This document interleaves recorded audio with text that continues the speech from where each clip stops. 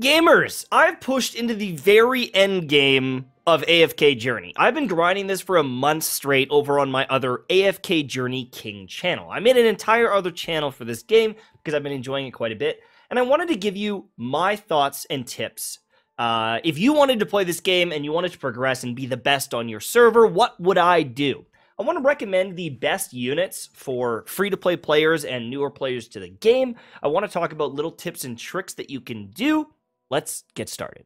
Tip number one you want to do your AFK stages as soon as humanly possible because it increases the gains of experience and hero essence. But every five levels or so, they throw in a wall, a very tough fight that's harder than even some of the fights after it. You can do what is called a synergy battle once a day, where you can bring in a unit from someone else go in the fight, lose the fight, and then bring in a synergy unit after the fact to push past that wall and keep progressing. You want to get this economy up as soon as possible, but there is one very interesting thing that none of us really knew about. Partway through the season, they will do, or or from the you know 30 days into the the the account creating, the server creating, they're going to do what's called the final push. It's where they double, actually, I think it's more than double all of your rewards. And so, with the new season that's launching soon, Song of Strife, um, this is a really good way to max out your units. Just a few days ago, my units were level 200, and now they're like 220, some of them going on to 230. I've made insane progression in the last couple of days, but you want to make sure that you get those AFK stages up so you can benefit from the massive boost. Up next, I want to shout out some heroes that are extremely good for you to focus on and build long term. However, there's a few that really shine even with a low amount of copies. AKA, they get the majority of their value just existing and having one copy of them. So let me show those out now. Number one is Brutus. Brutus um, he can be used to cheese some floors for AFK stages or story missions because he can go invulnerable. So he's got a passive um, that after taking a final blow or, or he, he's immune to his first final blow and then he's unaffected for five seconds. This allows you to buy time for your other units to function and even if you have one copy, this works. You don't need him to survive beyond that. You just need him to tank a bunch of hits in the front line so your other units can get off their abilities. So Brutus is one of them. Another really good one is Koko. Koko is used to uh, provide damage mitigation for your team with her ultimate. This damage mitigation allows you to push content you realistically shouldn't, and she's used in most of the under-leveled comps that are in the game. Another really good example of a unit that thrives even with a few copies is Antandra. Now, you're going to get copies of her for free um, just from doing some of the quests in game. But she's an insanely good tank. She has damage mitigation, she's got a taunt, she can provide some shielding. She's a very good unit, and I pushed 95% of the AFK stages with an Epic plus Antandra. She could go to Legendary, Mythic, and Supreme, but I was still able to tank stuff with her. She's that good. So uh, she's a very good unit without a lot of copies. Another one if you get more copies, it's great, but one copy of Rowan can be a game changer because he provides energy to your team. One copy of Rowan can be a very nice pickup and can be uh, something that'll help you push content. Would really highly recommend. And then, other than that, like you definitely want dupes on a lot of different units. Uh, but Kruger for PVE content, uh, his debuff from his ultimate and his passive it allows your teammates to just do more damage to the boss, and so just throwing them on the field to do that ability can be pretty darn good. Really, really good. And then I'll move on to a couple other kind of, you know, niche ones, and that's the Hypogean units and the Celestial units. And they're very rare, but if you end up getting one copy of Scarlita, this is an insanely good unit for pushing um, AFK stages in the story because she she provides shields to your team. So one copy, you don't need a bunch of dupes of her to be really good, and you can get her for free from an event in game. Um, on top of that, even just one copy of Reinier is a game changer for PvP because he teleports units around the map. So I would recommend people check out Reinier. Uh, and long term, this is one of the best units to get because it's got he's got this insane debuff uh, for bosses. So, um, but even just one copy in the early game can be a game changer for some fights everyone else, like obviously you want multiple copies of everyone because it just makes them stronger and they start getting different passives. Uh, but don't sleep on the A-list heroes, and that's something that I want to talk about right now. So, the Dream Realm is this boss fighting game mode, and some of the best units are A level heroes, the lower tier heroes, because you can buy multiple copies of them and get them up and running and doing insane damage. This chick with the little bow right here, she's insanely good. She's like the best DPS unit in the game. I'll show you her damage in a minute, and uh, I want to talk about a few units you should really focus on if you want to progress. I actually got a new record, and if you look here, Woo! 11 million damage. Almost 12 million damage. Now, you might notice this little dog guy here has almost 11 million. That's good. He's another A-level hero that you're going to want to build. Let's get started. So, the Dream Realm will give you currency, and you can buy all of these different heroes. I would highly recommend you get copies of Odie, because Odie is going to be a, a god tier unit for all content. PvP, PvE, very, very good. Now, there was a while where I was thinking that investing in her might be better because she's the best bossing damage dealer. But now that I'm in the end game and I'm doing content with very, very hard enemies, I think that Odie is the better investment um, until you max Odie out. Then switching to her. They're both good on the bosses, but he just works in more areas, so I would highly recommend that. But then second best, I would say, is Marilee, and I would really work on that until the end game. And then there's this guy all the way down. Wait, where are you? Korin, where are you at? There you are. Korin, Also a, a super good unit uh, for PvE bossing. Very, very good. And, uh, and this is kind of third priority. And then after that, you can fill the gaps. But you will get copies of everyone eventually, so I wouldn't stress out too much. But I do want to talk about the arena as well. After playing on multiple accounts, Here's my recommendation for the arena shop. I think that maxing out Cecia first is the best. Even though Cecia, um, people say she falls off in the end game, she can also carry you to the end game. You won't get to the end game if you don't have good units, and she is very solid. She can work in, in multiple different areas. I think that she's probably worth picking up, at least to Mythic Plus. That's who I would buy first. And then I went for Hewynn because she's like a pretty crazy healer. I can't click on her because I already sold this out. Um, and then other units that are really good. Uh, Rowan is solid, but you don't need a ton of copies. Brutus, you only need one copy, so you could, if you just need them, you could buy them. And then this unit is very good for magic DPS units, and I think she'll gain value long term down the road. Um, but it does take some investment to get Cassadee uh, up and running. As for some of the other shops, always buy your daily ticket here, always buy your monthly stuff here, and then what you're going to do with your guild tokens is you're going to want to buy Reinier and max him out as soon as you can because he's, one of the best units in the game, uh, and I will be buying another copy as soon as I can. The other thing I wanted to discuss is buying these title essence. In the very early game, it can give you an advantage. You use these to upgrade some of your character's skills, uh, as well as upgrading your hero's kind of specialty weapon when you've got them to Mythic Plus. Now, this is a currency that you can get a bunch of for free from doing the Dream Realm. But the better you place in the Dream Realm, the more you get. So there is a situation where investing in them allows you to get more, but it also allows you to get the higher level one, and that's something that I really want to talk about. As you level up your characters and you get multiple copies, you can start upgrading these kind of legendary skills, and then eventually these mythic plus skills. All right? Once you're in Mythic Plus, you get a specialty item and you can upgrade them. Now, the currency that you need starts becoming very scarce, and you need a lot of this to get characters up and running and get their bonuses. But not everyone is built the same some of these EX weapons and their legendary passives are way better than others. And so I want to give you a really good example of that. Um, I got this character up and running, but I didn't save enough of the currency, and so I couldn't level up her EX weapon. And now I'm missing some of the big upgrades for this weapon, and I could have got them sooner, and I, I wish I would have done it sooner because she is going to allow me to get more of this essence. So investing in her allows me to get more of this for my other characters, and, and I feel like that's something that I messed up and I should have done sooner.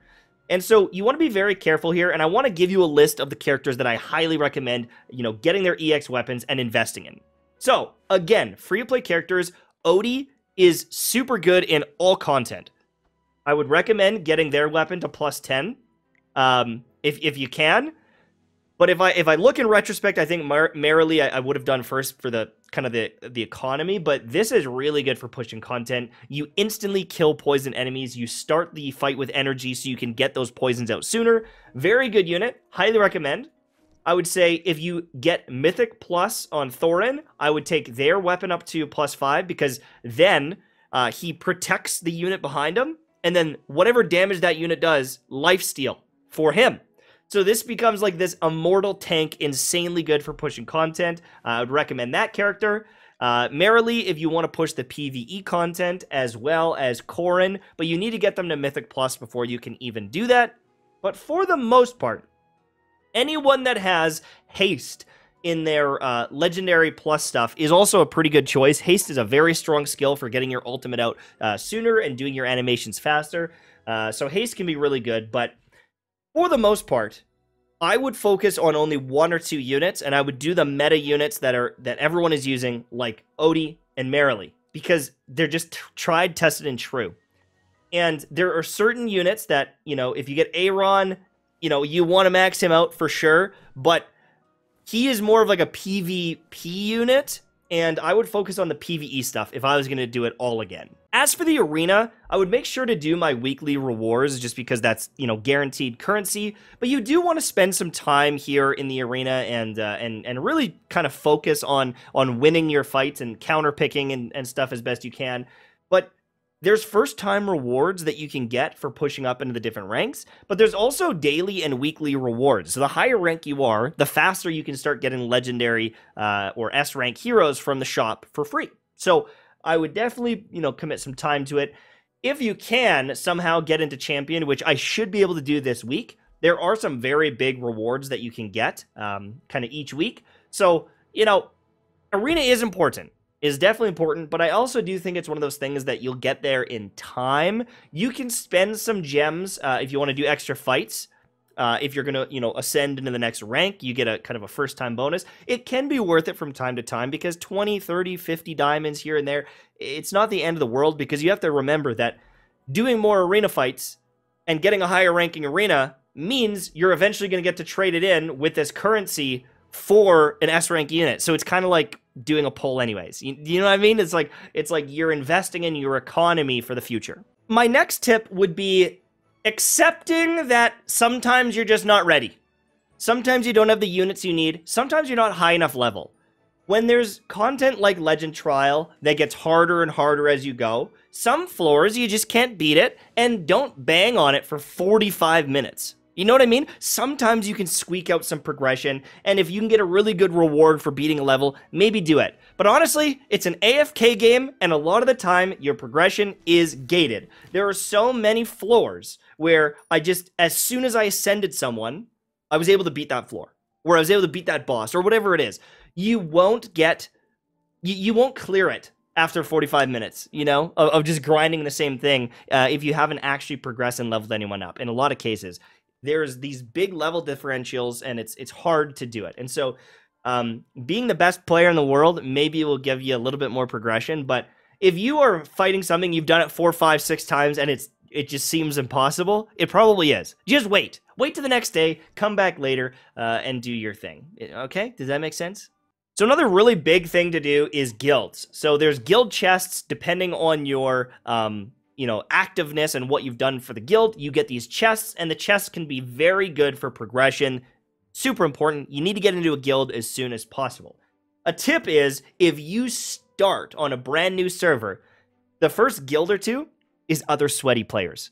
If you jump into a guild that opened up, the only people that can make those guilds are sweaty people you know? And the only people that can join that guild is someone who's sweaty because they're the first people who are even allowed because it's based on your progression. So if you make a new account you jump in and all of a sudden a clan pops up that person is either a whale or sweatier than you are. And so if you can join them it, it typically leads to a good clan. I just randomly joined this one at the beginning of the server, and we ended up being the second highest ranked clan in the whole server. Like, our clan is cracked. Uh, and it just I just randomly joined it. They didn't know who I was. I didn't know who they were. It was just just luck. So another thing is with guilds, depending on your rank, you actually get some pretty juicy rewards. Now, this is probably an anomaly because we're top three, but we're getting a ton of currency to buy these Hypogean and Celestial units, some of the best units in the game. And so Um, a guild can be insanely good for that, but even like the top 20, top 60, top 200, it is still a very big amount of these medals to progress your account long term. So, highly recommend that you jump in uh, and you get into a guild as soon as you can. There's also these battle drills, and battle drills have their own loot. They've got these different chests and reputation quests, and you just you want to do this. So don't slack on a guild. As for pulling and wish list, this stuff is going to evolve over time depending on who you have. If you look at my wish list right now, you'd be like, that looks a little weird, and it's because I've already maxed out a few characters. Normally, you'd want to have in someone like this, and and you'd want to have someone, you know, maybe like Rowan in here, or whatever it is.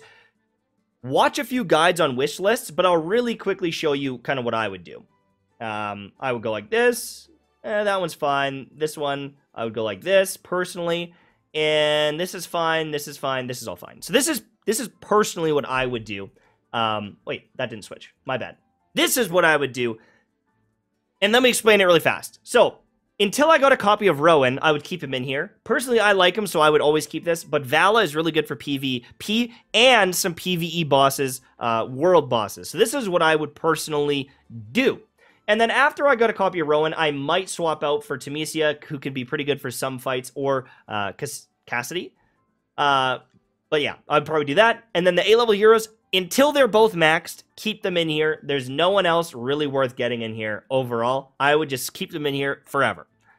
As for the Maulers, I would get a copy of Brutus, minimum, and then I'd probably put in this guy because he could be a really interesting DPS unit for certain bosses. Uh, and then leave Smokey in there until maxed. Odie until maxed, Koko most likely until Mythic Plus or maxed.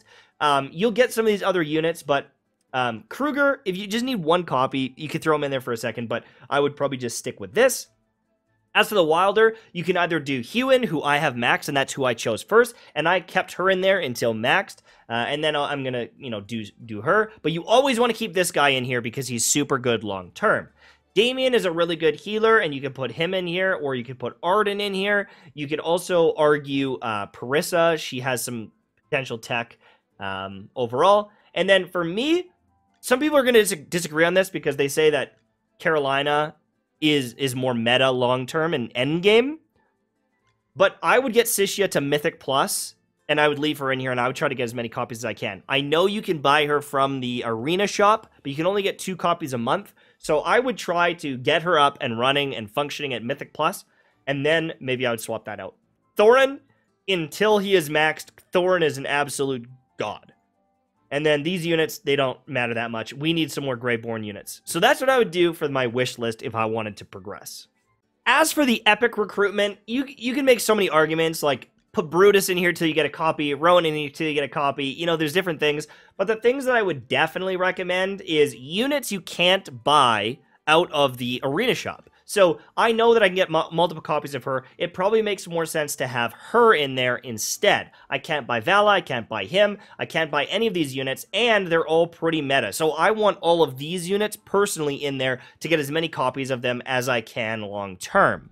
Eventually, you will unlock all the artifacts but in most bossing and even in the arena, Star Shard spell can be really good. Uh, as soon as you start getting ultimates off, the other opponents they they lose their attack speed. Uh, it does some damage to them. Star Shard spell is very good in a lot of situations, but in PVE content, it's very very good in my opinion. One of the best. Another really good one is Confining Spell because it locks down the back line. I would highly recommend once you get this to use it. And then there's niche situations where Iron Wall will help keep, you know, a tank in the front line alive, but it's not that amazing. It's pretty good. But essentially, if you're going to die, you're going to die. Like, it, it's really hard to tank uh, certain fights in this game. Uh, but the attack speed uh, getting reduced from Star Shard this is my favorite artifact by far, so that's the one I recommend people invest in and use in most situations. And as for gear, you will get gear over time from chests and things like that.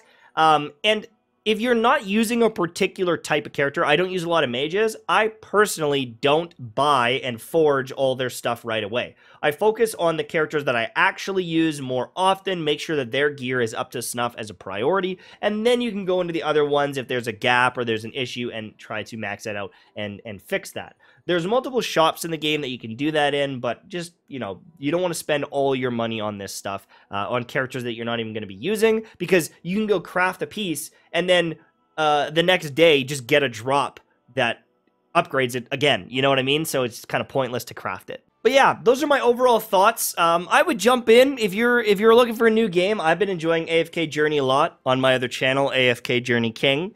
And uh, they've got a new season that's coming. They're going to do this whole new season where um, it's got like some separate levels. Like all of your progression stays essentially, but there's a new area, new bosses, new things to do. Um, and you kind of progress that as well. But you need to get into the end game. So you want to start now uh, and you want to play now. Use that link down below. Get started today. Uh, about 30 days into the server, you'll get this catch up mechanic, this boost. You will get to the end game sooner than you think. Uh, and then you can enjoy the new season and the new stuff. And there's like a bunch of stuff. They're adding like kind of like set gear. Different heroes have different specialized skills in the season, which is like, you know, some unit that never gets used might be a god in the new season, which is kind of cool. Um, there's yeah, different classes, different artifacts. There's so much going on. Haven't got to play it yet myself or test it out really, but yeah, I'm excited for it. I'm gonna check it out, and uh, I'm gonna be keeping making content over on that other channel. So thanks for watching. Hopefully you enjoyed. Click that link down below, and thank you so much for sponsoring the channel.